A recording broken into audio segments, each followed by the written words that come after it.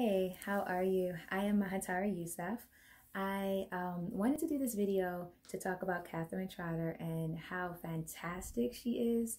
Um, I got her information from a friend of mine and she set up my 501c3, my nonprofit for my company Holistic Safe Space.